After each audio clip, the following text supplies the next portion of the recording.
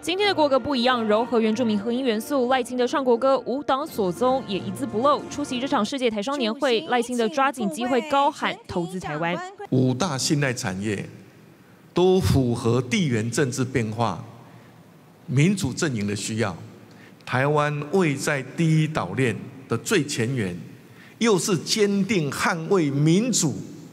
坚定不移。台商面前防卫台湾还是赖清德演说主旋律。总统府防卫韧性委员会第一次会议就抛出培训四十万名力，必要时要支援军事行动。只这人力到底从哪来？我们现在所统计出来的名力大概横跨啊警消、一警、一消哈。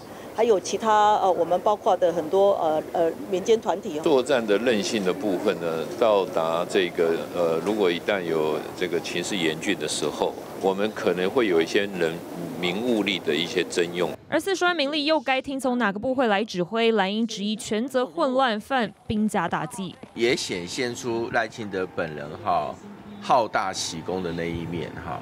那凡事都想要来一个御驾亲征啦，哈，那就是纯粹就是把自己当清德宗，应用民间的这些呃力量组成的。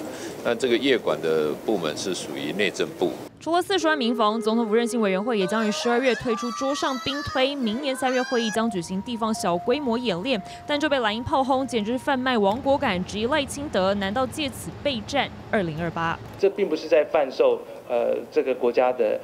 安全的这个警觉危险度是在增高，而是要让大家知道说，现在我们遇到的威胁就是这样子。全民国防成为显学，赖清德大练兵，不能让自卫决心成为纸上谈兵。新闻录影朋友周谢嘉玲采访报道。